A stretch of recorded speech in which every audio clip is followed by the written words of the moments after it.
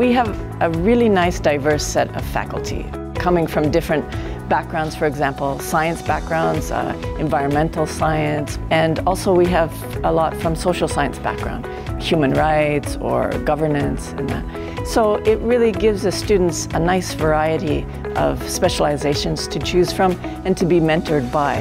We have a, a, a very nice focus on doing engaged research. So uh, these different types of disciplines allow students to get a nice holistic view of whatever it is that they want to major in. Our program is very much geared towards practical experience and practical experiments. We like the students to do field research and to do empirical work as much as they can. In our second year, we have a flagship program that enables students to work together in research groups and either study abroad and do research abroad or to stay in Japan and they actually create their own research projects and then administer them and analyze them. So it's quite exciting.